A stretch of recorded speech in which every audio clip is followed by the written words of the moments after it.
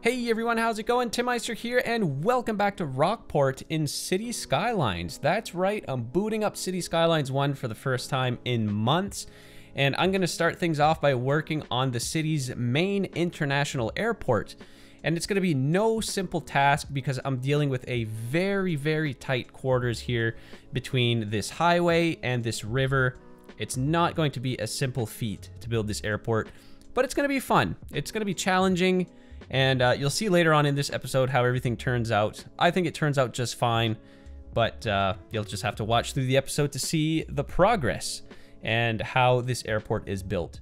And guys, I couldn't be more excited to start things off back in Rockport after, what is it now, three or four months since Cities Skylines 2 was launched.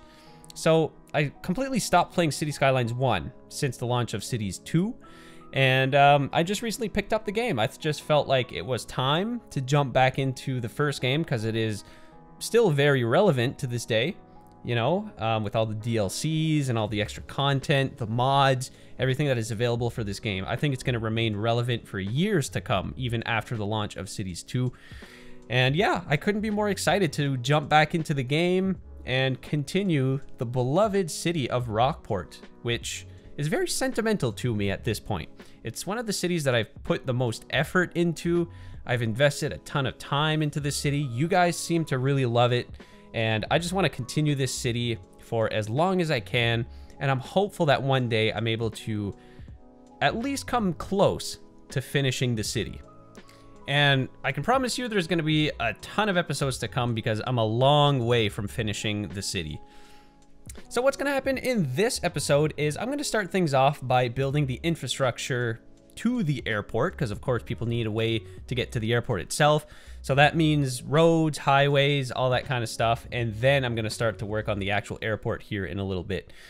So you see me move this pre-existing Y interchange or T interchange. And uh, this was actually part of the base map.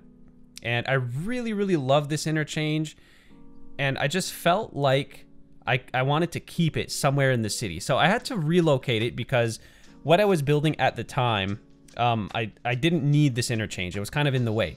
But I loved it so much that I wanted to keep it, so I shoved it off over here in the airport area, and I figured, well, you know what? It looks cool. I'm going to use it for the airport itself. And also, what is working in my favor with this interchange as well is it's very compact. It's very small, so it's a perfect location for it leading into the airport, and I think it fits wonderfully in this location.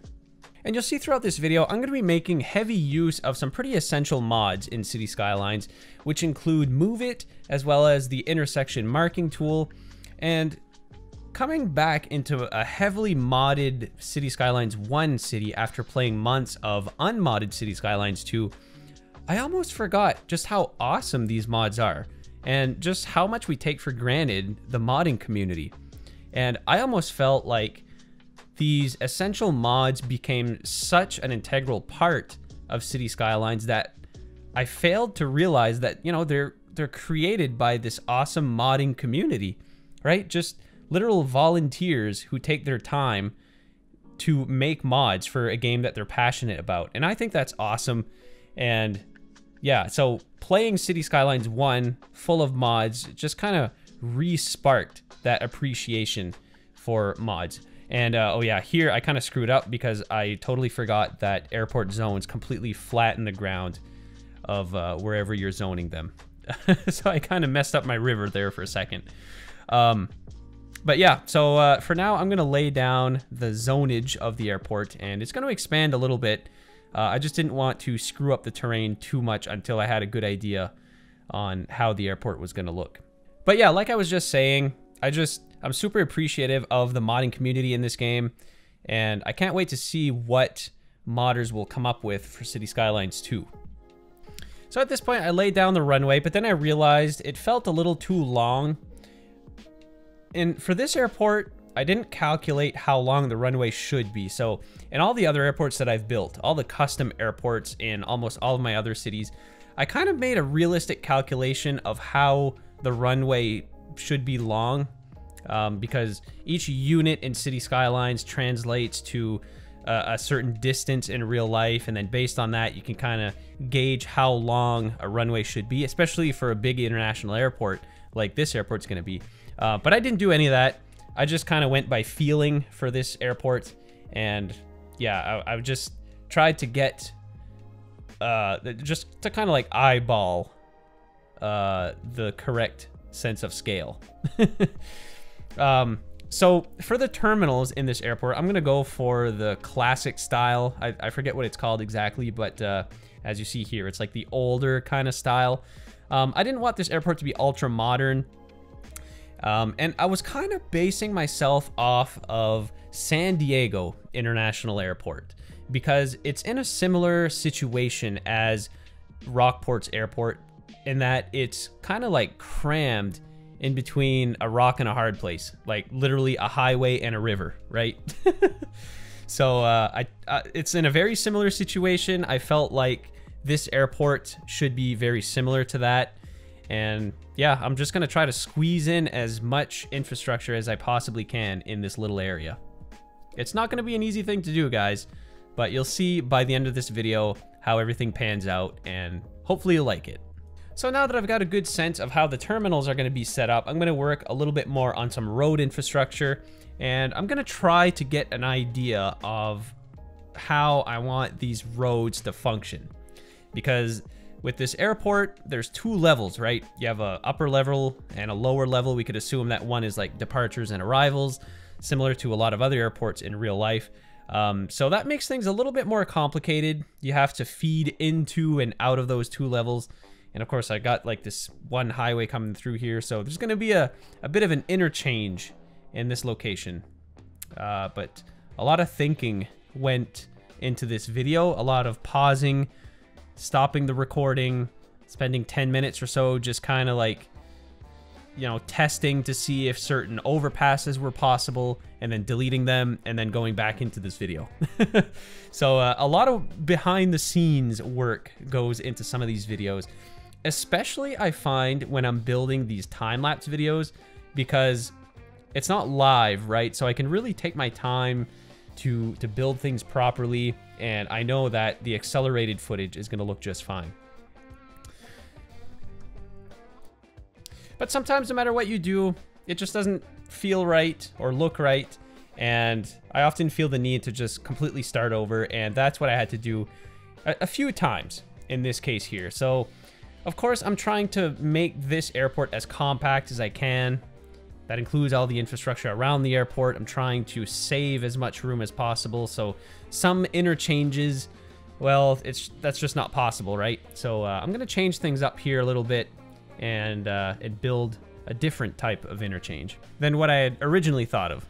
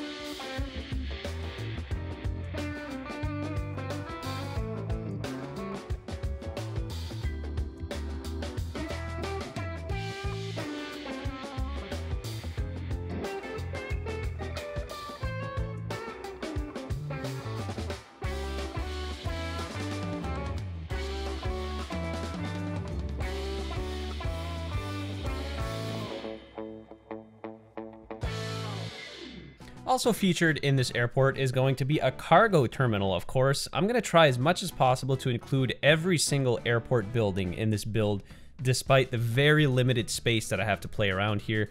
So I'm going to shove this cargo terminal off in the corner here, and you'll see how everything pans out. Um, I think this looks really, really cool. So although the way that my taxiways are going to be laid out, I'm, I'm really happy with the way this is going to turn out. Um, but you'll see here that because of the space constraints that I have, it leaves for some pretty interesting interchanges. So I was originally going to do uh, some sort of just regular diamond interchange, um, but then I incorporated the interchange into this cargo terminal, so it created like this weird kind of shaped interchange. Um, luckily, there's not going to be too much buildings. I don't anticipate there being too much traffic in this area, hopefully. Um, because I don't think this interchange is going to be able to handle too much traffic. but we'll just have to see. I know the cargo terminals can get pretty darn busy. And, and yeah, I, they're just not really optimized very well, or at least they weren't from what I remember. But we'll just have to see. If, if it gets too clogged up in this area, I may have to like reconfigure some of these roads, but we'll just have to uh, let time tell. Anyways, I'm to let you guys enjoy this time lapse for a little bit longer and I'll check back with you in just a minute. Also, make sure you stay to the very end because I got some awesome cinematics coming up.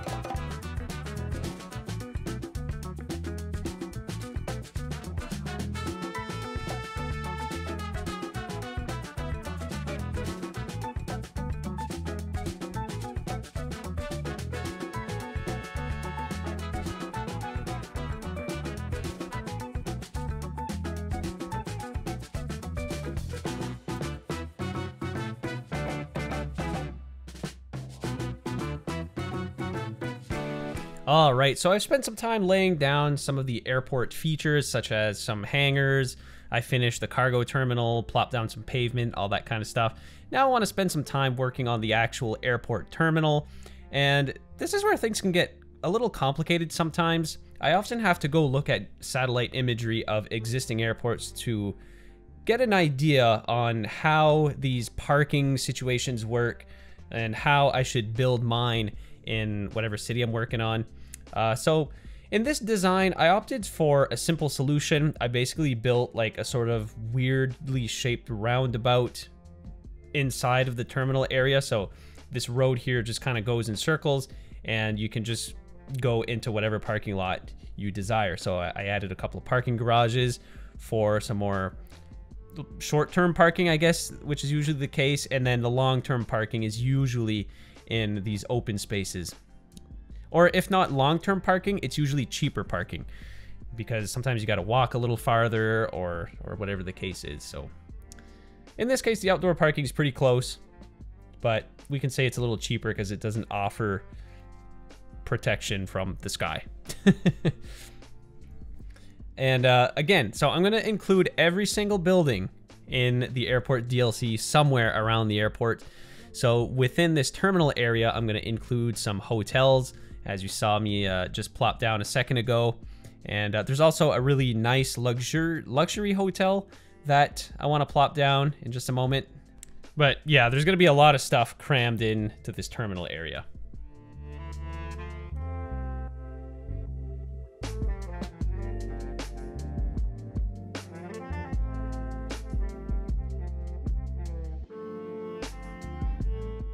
So here is the luxury hotel. And as I was plopping it down, I noticed that I have an output road that I didn't really know what to do with. So I just created an exit from the hotel. So I guess guests from the luxury hotel can make a quick quick escape out of the airport without having to like do a loop around and go through arrivals and departures and deal with all that pesky traffic, right? They have like their own little exit out of the airport. And then right beside the hotel, I plopped down the airline headquarters, which is a very modern, fancy looking building. I think it fits perfectly where it is. And uh, that pretty much concludes the terminal area of the airport for the most part. As far as like plopping buildings and roads down, I am going to revisit the whole airport at the very end of this episode and go over all the detailing. So, you know, the usual shrubbery, bushes, trees, whatever props I can think of that would look cool in an airport area and a few other little buildings here, like you're seeing me plop down, some random offices and stuff. So I'm just trying to make this as complete of an airport as I possibly can, right?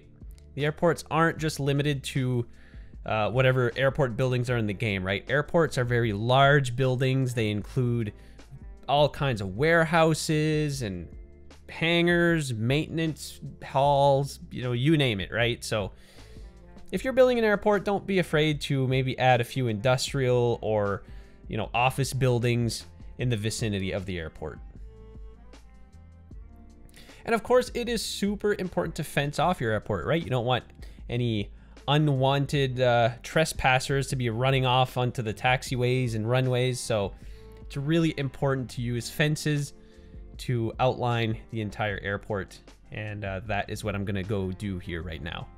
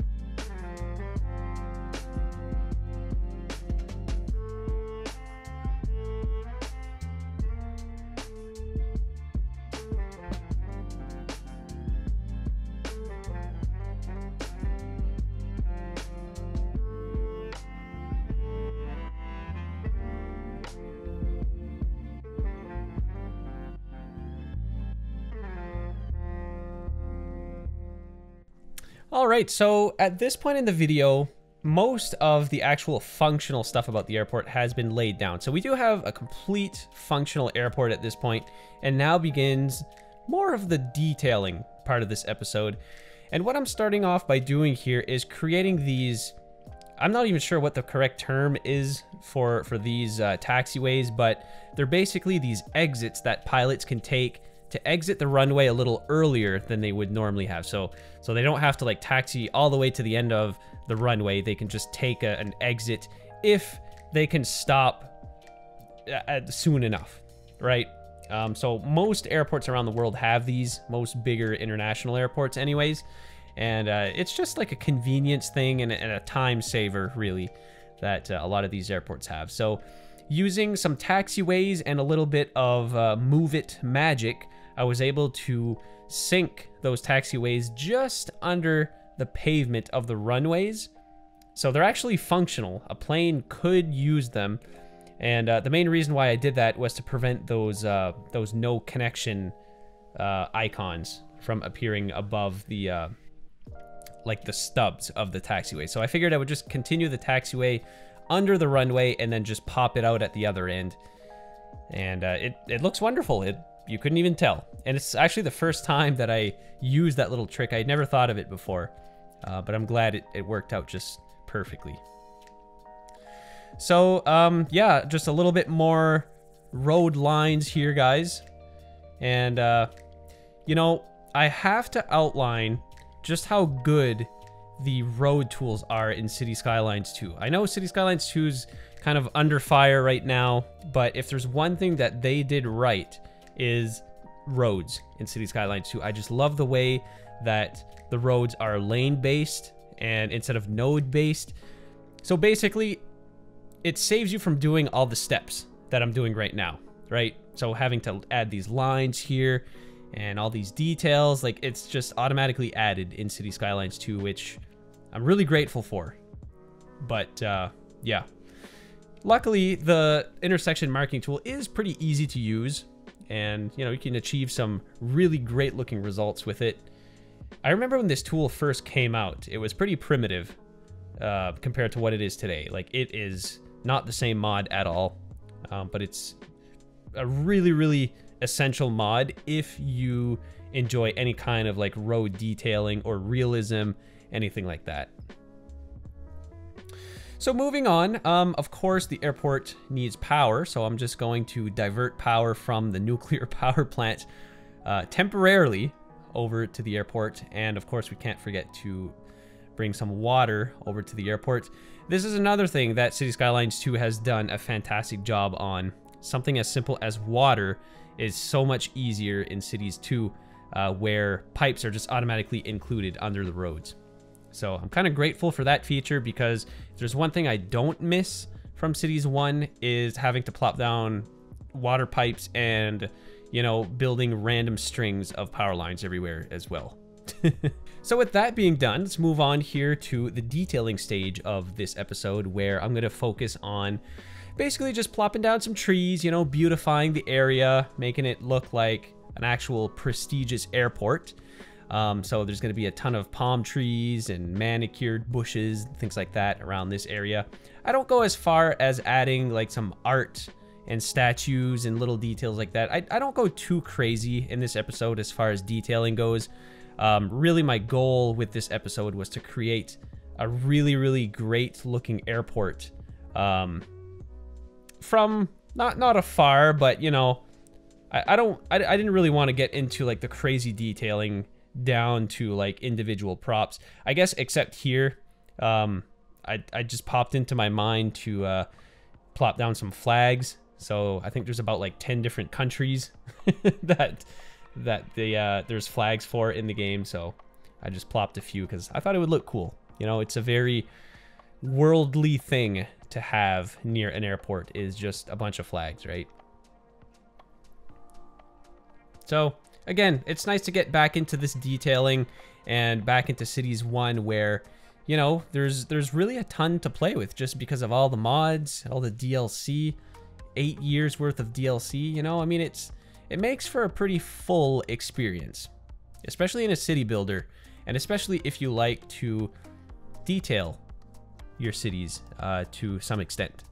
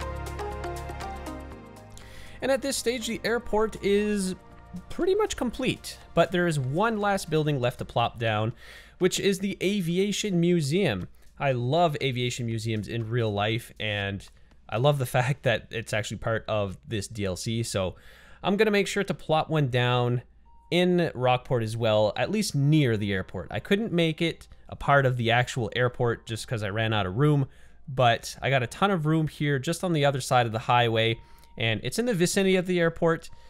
So it's the best location I got for the Aviation Museum. And honestly, it's pretty cool because the Aviation Museum is going to be adjacent to one of the main highways running through the city. So there's going to be a ton of traffic driving through here, you know, viewing the planes that are just outside. So it's going to be pretty cool. The only thing I had to do in preparation of building the uh, museum was to build this little interchange here. And, uh, you know, th this interchange is going to serve multiple purposes. It's going to feed into the Aviation Museum, but it's also going to feed into uh, probably some residential neighborhoods that are near the airport, uh, just at the foothills of these mountains. And also, I encourage you to stay to the very end of this episode as I'm going to feature some wonderful cinematics of the finished product of this entire airport. And yeah, I couldn't be happier with the way this turned out, guys. Like, you know, I'm I'm impressed that things went so well after booting up Cities Skylines for the first time in like four months. I fumbled quite a bit, especially with the road marking tool or the intersection marking tool. I mean, uh, but yeah, it, it was just like it's just like riding a bike, right? Uh, so I'm I'm just so happy to be back into Cities Skylines. You know, just having access to all the mods, all the props, all the buildings. It's awesome. Makes me appreciate things that are better in Cities Skylines 2. And, you know, it, it brings uh, the best out of what Cities Skylines 1 can offer, right? So I'm going to continue playing Cities Skylines 1 for a long while, I think, even probably years after Cities Skylines 2 has launched. I'm going to I'm going to continue playing Cities Skylines 1. So here it is, guys. Here is the wonderful aviation museum. You can see it's right by this highway here, so drivers are going to get an excellent view of uh, I think it looks kind of like a Connie out front, Constellation, as well as a Concorde and a couple of other military planes, it looks like. So it looks really, really cool at the foothills of these mountains. So yeah, again, I'm just so overly happy with the way this build turned out.